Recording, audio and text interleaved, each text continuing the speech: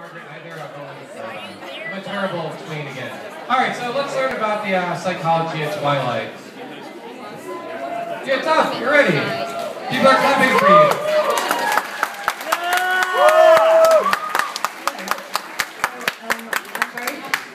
I'm going to tell you about a topic that has recently become um, interesting to me, which is why Bella can't resist Edward in the Twilight saga. Um, now, who here has heard of Twilight and knows what I'm talking about? Yeah. And who actually came for the zombie talk and has no idea what I'm talking about? There's few people on either side. Uh, so what I'm going to do now is just give you a really brief rundown of everything you need to know about Twilight. This is kind of Twilight for dummies. Um, basically, Twilight is a series of books for uh, teenage girls mainly, uh, written by a woman called Stephenie Meyer, who is very uh, now a very rich woman called Stephenie Meyer. Um, the uh, films uh, were recently made and star an actress called Kristen Stewart, who plays a character called Bella Swan. Robert Pattinson, who plays a vampire uh, called Edward Cullen. Um, there's also another guy, Taylor Lautner. He plays um, a guy called Jacob. Uh, he starts off looking like this, then turns into this. gaining a few female fans on the way as the audience was So, uh, but you know, you're busy people. I'm going to give you the bottom line of basically the three books of Twilight very quickly. So, Twilight, the bottom line. Basically, there's this shy girl. She meets a sexy vampire. She thinks he doesn't fancy her, but actually he does. Uh, but he won't go out with her because he's worried that he'll drink her blood by accident. And they get together, and then some other vampires try to kill her, but it all turns out okay in the end. New Moon, second book. The sexy vampire dumps the shy girl. It's really terrible. She's completely bummed by this, but she cheers up a bit uh, when she gets to hang out with her childhood friend who has happened to turn into a super hot werewolf, uh, which is great. The other vampires do try and kill her again, uh, so that's a bit of a downer. Uh, but actually, it's kind of good because it freaks out the sexy vampire and then they get back together. That's what happens. Uh, then in the third book, uh, Breaking Dawn, in a nutshell, they basically get married they eventually have sex, which is incredible because sexual tension has been building throughout, uh, you know, this series of books, and then some really weird stuff happens. And I'm not going to tell you about that, but if you're interested, the third film uh, did actually open tonight, and this is how I know that you need the Twilight for Dummies uh, rendition because you're not really big Twilight fans, otherwise you'd be a movie. Uh, but the interesting thing about Twilight is it is uh, a completely global phenomenon. Um, so there's lots of people who are completely obsessed with uh, Edward. Uh, you can see this girl is very into him. This woman is written "Bite Me" on her face. Very into him. Um, people are also into Bella, uh, Kristen Stewart. So there's people uh, you know, coming up to meet her there. The guy on the right is definitely, he thinks he's definitely pulled Kristen Stewart. Uh, he's going home with her this evening. Uh, there's also this passionate debate that is raging um, between uh, fans of Edward and fans of Jacob. Uh, so you can get t-shirts to kind of demonstrate which boyfriend you think is best. Uh, this girl is obviously called Jacob. So it is mainly a phenomenon for teenage girls. There's also people who really should know a lot better. who, uh, are very into Twilight. Twilight moms demonstrated here. There's also a lot of blogs about Twilight. Uh, this one is called Robster Lust. Uh, and it is completely dedicated to the romance between Kristen Stewart and Robert Pattinson, which is apparently happening in real life as well as in the film. Uh, this one is called Rob Cess. I don't think that needs any further explanation. and this one is called Rob Population. well, this meant, but apparently it means kind of the skillful manipulation of Robert Pattinson's images, which is basically a lot of photoshopped uh, images of his body, his head on other people's bodies. so that's definitely one to check. There's also a lot of merchandise. Uh, so you can get your Twilight condoms. This is kind of ironic because um, Edward doesn't actually believe in sex before marriage. and um, you can also get this. Uh, I have no idea what this is. but apparently uh, a lot of fans have protested because uh, they say that Ed Woods is actually a lot bigger than this. so uh, when confronted by this kind of barrage of uh, media and interest in Twilight, it really makes you wonder why is this? Why is it uh, so interesting to everyone? And I think the answer really is in the romance between Edward and Bella, and particularly in Bella's uh, passion for Edward. So, you know, I was kind of wondering, why is this? I mean, there seems to be a lot of features about Edward which actually aren't that desirable. And obviously what you do uh, when you're not sure about someone in this day and age, you Google them. and this is what I found.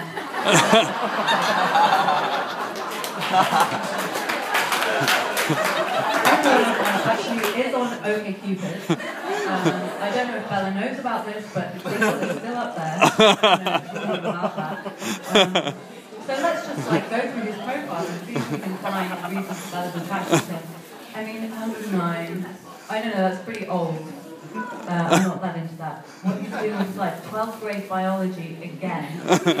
Uh, why is he still doing 12th grade biology? That worries me a little bit. Uh, favorite food, blood. I don't know about that. In fact, blood comes up a lot. Um, not sure about that. Dislikes dogs. Um, I guess that's understandable. I mean, would you message this man? I don't know. I don't know that I'm that uh, into him. So I think uh, what's really needed is a systematic, scientific approach to try and get to the bottom of uh, this attraction. And what I'm going to do now is try and take you through uh, the science behind it. Um, the twilight metaphor is so we're going to use that metaphor. Uh, first I'm going to talk about the glossy surface of Edward, the surface qualities that he has, uh, which I think makes uh, Bella so attracted to him. And then we'll talk about the flesh, the kind of innards of the attraction, and then uh, finally finish with the inner core and the heart of what I think is going on. So first the glossy surface. Now, um, it's well known that uh, height is uh, seen to be an attractive quality to women.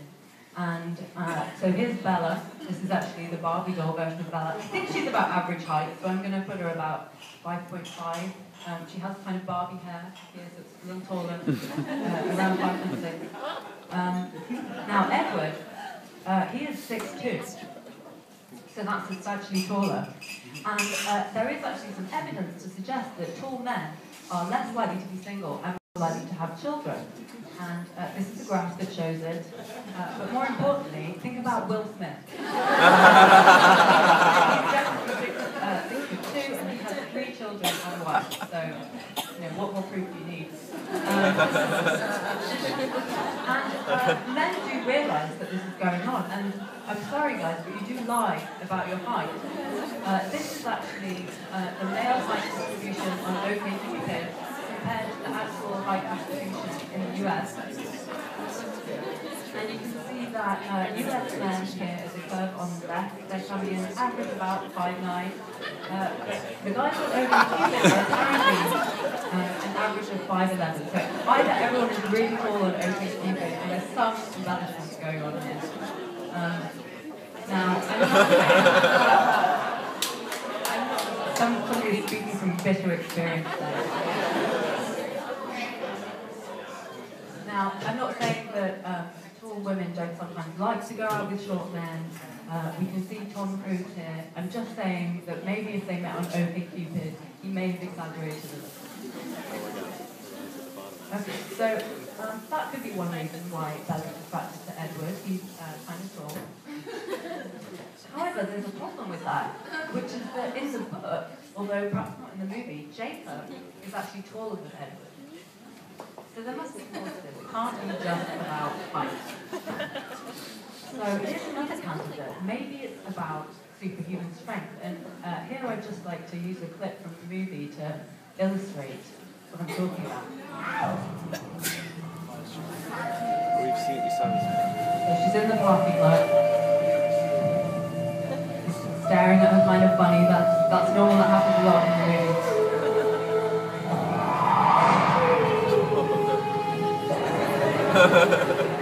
So these things, so check out what he did to this Laurie, he's a very strong man. Very strong man.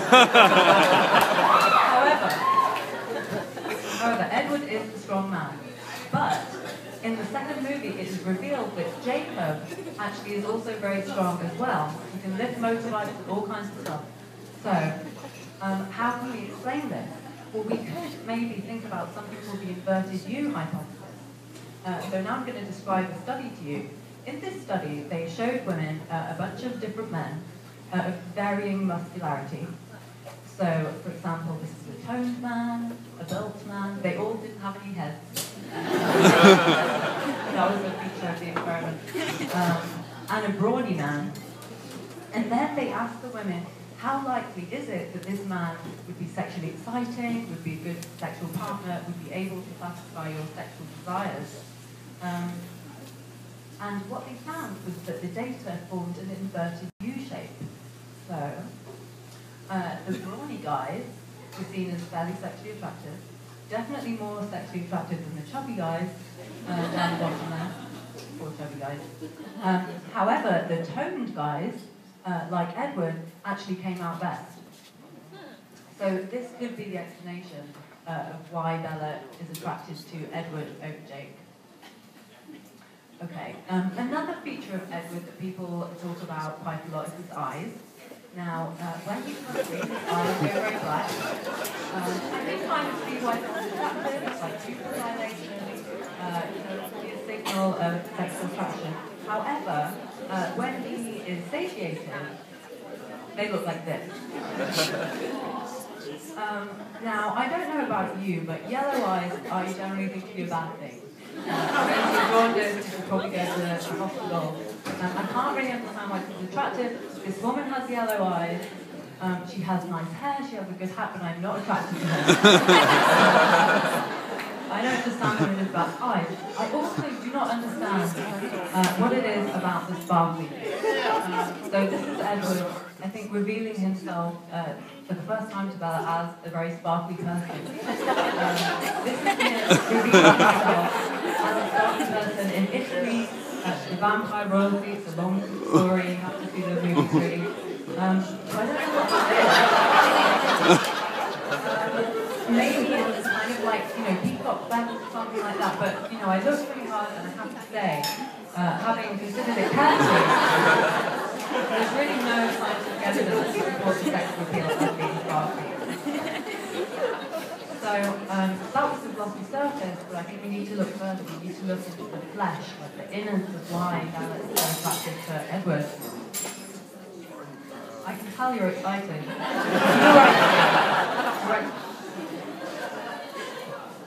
So let's start with intelligence. Now, um, there is actually a scene in, I think it's the first Twilight movie, where um, Edward plays a song he has written for Bella.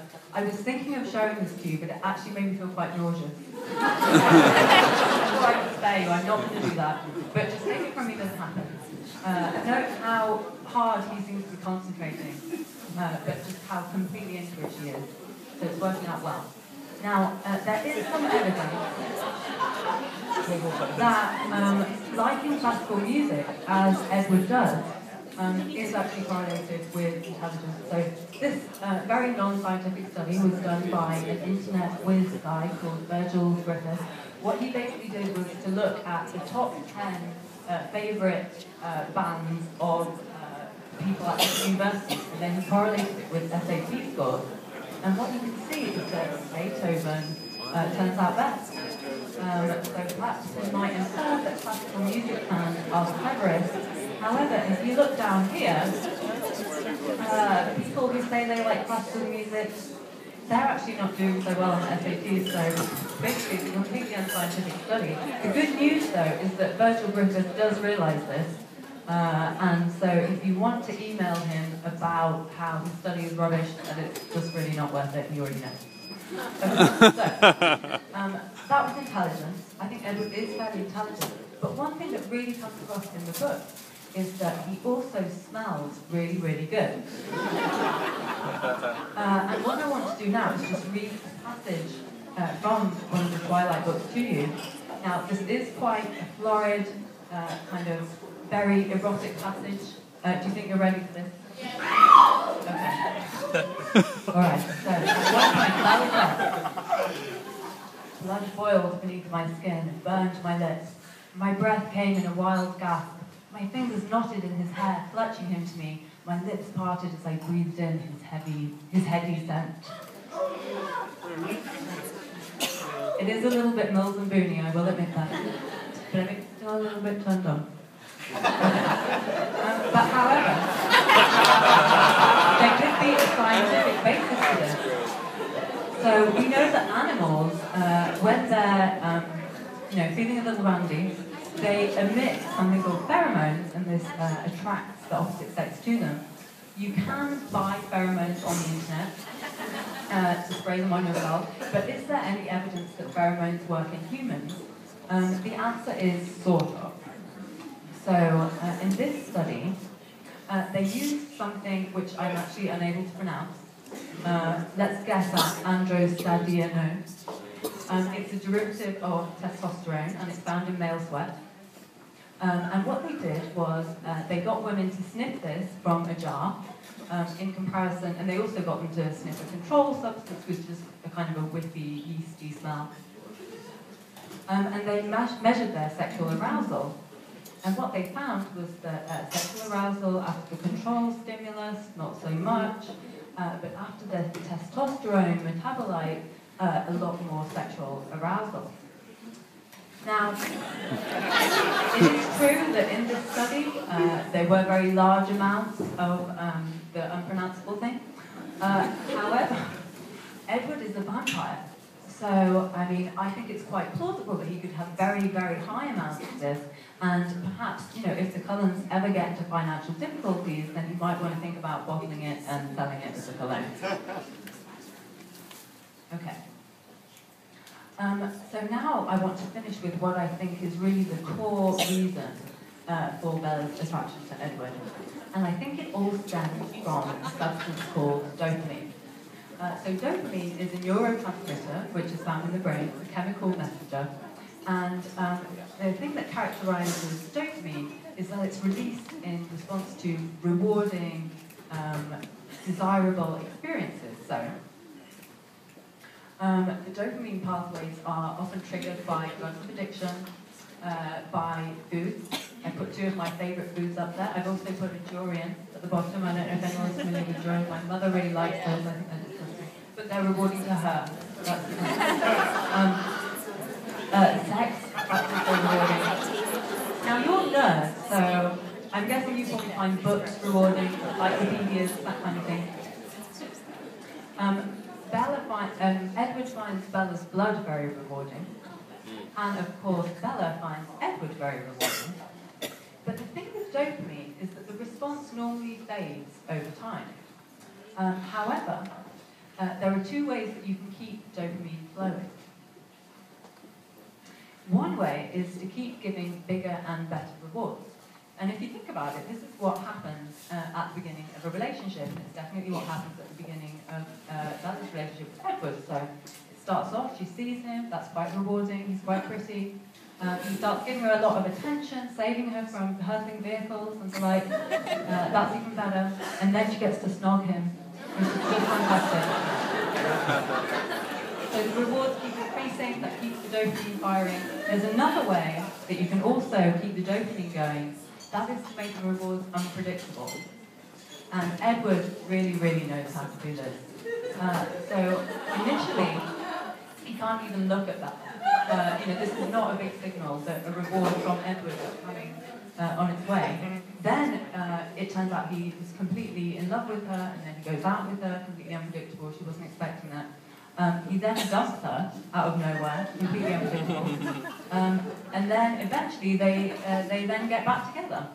So Edward is basically a completely unreliable uh, boyfriend. Um, now, I do want to give a caveat about this because you're probably all listening to this and thinking, well, this is obviously a great way to behave.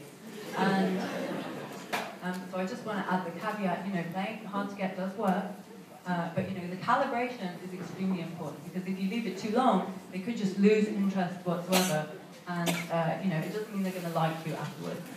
So it's just a caveat for anyone who's thinking of trying the Edward method. okay, so you could be thinking, um, you know, this is all very well, this makes sense as a theory, but what's the evidence? Um, and there is some evidence from something called the prairie vole. Um, prairie voles are extremely cute, furry things, uh, and they mate for life, they're monogamous. So what normally happens is a prairie vole meets another prairie vole, uh, they mate, and after they've mated, they fall in love. Yeah, it's cute, isn't it? However, uh, so that's what happens. Um, and it normally has to, mating has to take place. But if you inject a prairie vole, I confess this is not a prairie vole, this is actually a tribble. Does anyone know what the tribbles? Uh, they're from Star Trek, but you know, they were cute, so I'm going to put them in. If you inject a tribble, I mean a prairie vole, um, in its nucleus accumbens with dopamine, even if it hasn't mated with another prairie vole, it will become attracted to a prairie vole you introduce it to, and they will fall in love. Yeah. So uh, that shows you the, the power of uh, dopamine uh, in the nucleus accumbens. Now you may be thinking, uh, yes, okay, it works for voles. This is a slide that I took out. But trust me, it does work in humans too. They've shown it in their MRI studies. Now, um, I want to finish with uh, talking about the strange power of fear. Uh, so we've talked about dopamine, but I think there's also something else going on uh, with Bella's attraction to Edward. So if you think about it, throughout their relationship, uh, a series of really, really scary things happen. So first of all, uh, you know, she nearly gets killed by a truck and he saves her. Um, then it's revealed that he's a vampire. Uh, that's actually pretty scary. Then she nearly gets eaten by this vampire, um, who I think is completely non-scary. I don't know. he was actually in the OC. Does anyone recognise him? How I know think the OC could be scary, but you know he's a killer vampire, uh, and you know he nearly devours her and stuff. And Edward saves her. So fear is very much a part of uh, Bella and Edward's relationship. So you would think this would put her off, right? Um, but actually, there seems to be some evidence that fear can actually get confused with lust. Uh, so I'm going to tell you about um, a study which tried to look at this. It involved using a really scary looking device called the vaginal photoplethysmograph, um, which uh, measures the kind of engorgement in one's lady parts. And um, if you want to read more about this, I recommend you read this book by Mary Roach, Bonk. It's very. Anyway, they used this uh, strange looking device and they had two different conditions. So um, they had one condition where they showed um, an anxiety-provoking video and then an erotic video. The anxiety-provoking video, it's described in the paper as kind of threatened amputation. I don't really know what that what that would be like. And then the other um, condition, they showed a neutral kind of travelogue video, uh, followed by the erotic video, and they monitored uh, the blood flow to the lady parts.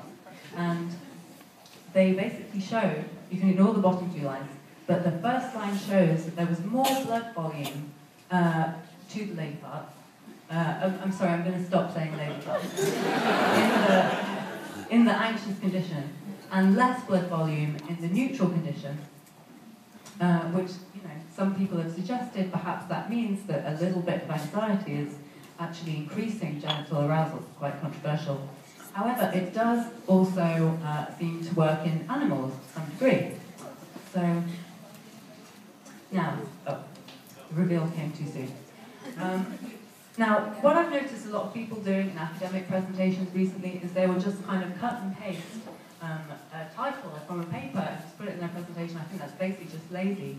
Apart from if the title of the paper is Male Topi Antelope Alarm Snort Deceptively to Retain Females for Mating. And then I think you're duty bound to cut and paste the title. Um, but basically what this uh, study did was they um, observed antelopes in Kenya and they found this kind of thing going on. oh, too soon, too soon.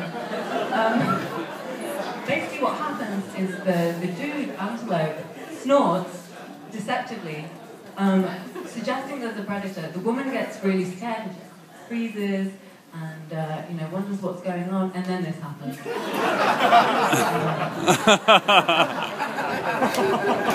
So there you go. It doesn't just work for vampires, it works for antelopes too.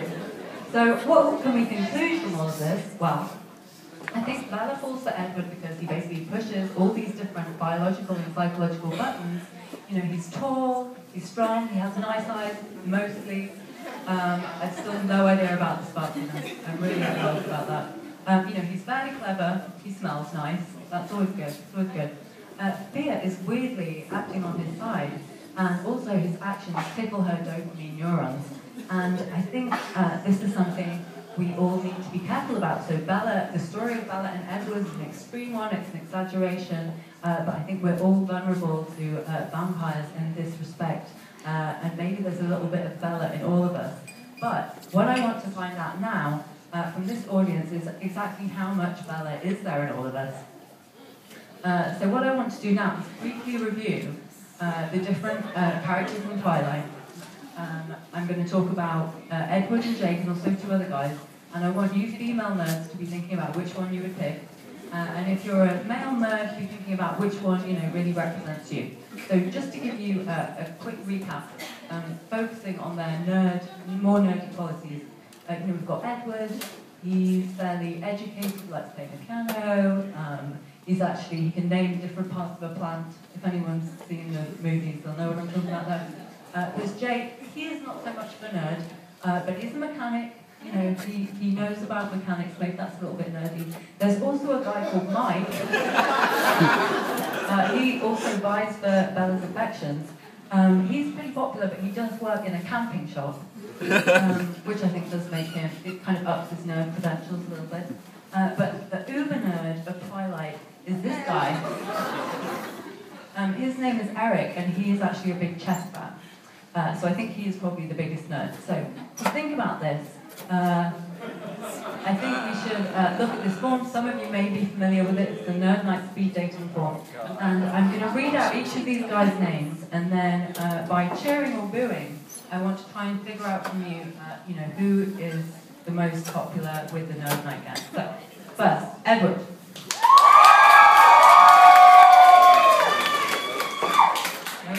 That, was the song.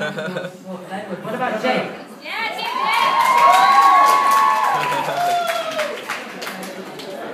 Uh, Mike. Nothing else much love for Mike. And what about Eric? Okay, so uh, the, the, the popularity seems to be distributed, so I can only conclude then that for the ideal man, we actually need to combine uh, these people. Uh, so how should we do this? Well, I think we should definitely start with Jake's Uh, that seems a good move. Um, we've got Pattinson's head. He looks quite cute there. I wasn't sure what to do about legs. Uh, Stephenie Meyer's kind of uh, silent on legs. Um, however, you know, Jacob can run pretty fast when he's a werewolf. Uh, so maybe we'll add his legs. Edward, though, he can't fly because he is a vampire. Uh, so maybe we'll keep Edward's flying ability.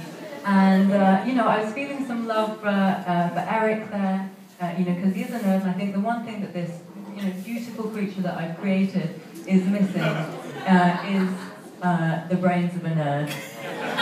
So I think if we add all of those in, we really have created the ideal man. So I'm happy to answer any questions. I also, the reason I've got so interested in this lately is because I wrote a chapter for a book called The Psychology of Twilight, which covers all these uh, interesting topics here. And I do have free copies, two free copies.